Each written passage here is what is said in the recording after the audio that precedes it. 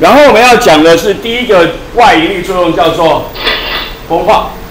风化，什么叫做风化？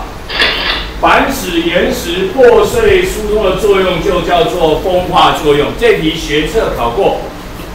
什么是风化作用？只要使它破碎疏通的作用，就称之为风，就称之为风化作用，就称之为风化作用。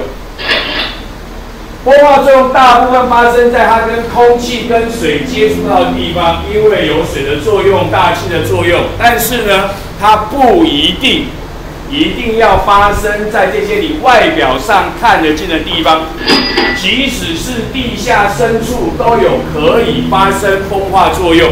只要有空气、有水、有生物能够到得到，生物钻得进去，水渗得进去，空气能够透进去，就会有风化作用进行，只是可能速度比较。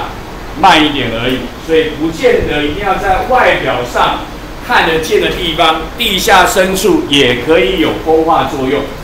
那么这个旧的地科课本有教，地理课本也有教，但现在地科课本不教了，地理课本好像也不教了。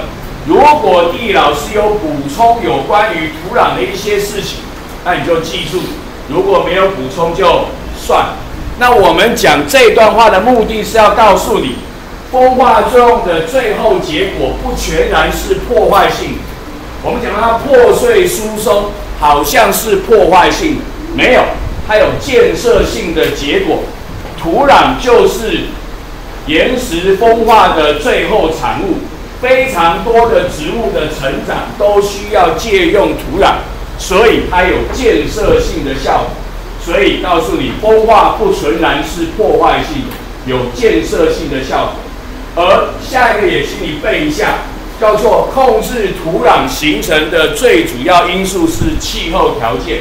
土壤的形成有好几个因素会影响，我们现在不教。最重要的是气候条件，为什么？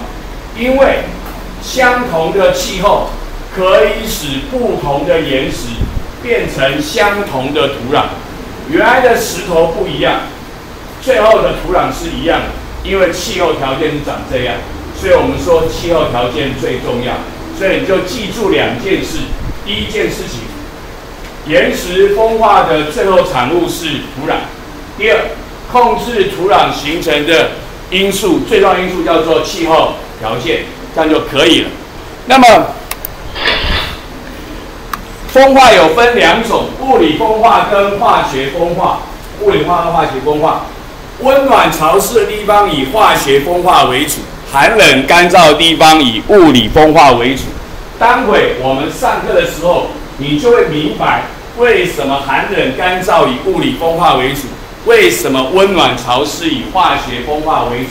那目前就像就记一下就可以了啊，就是寒冷干燥物理风化为主。温暖潮湿，化学风化为主，跟理化课本教的物理变化跟化学变化差不多，就是一个过程。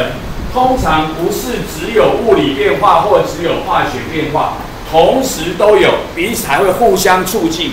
那么在自然界中，也常常不是单纯的物理风化或化学风化会同时发生，而且还可能会彼此互相促进。就是跟你说明什么叫做风化作用。啊，请你记住，风化考过的，风化就使岩石破碎疏松。啊，记住，风化的最后产物是土壤，控制土壤形成的最主要因素是气候条件。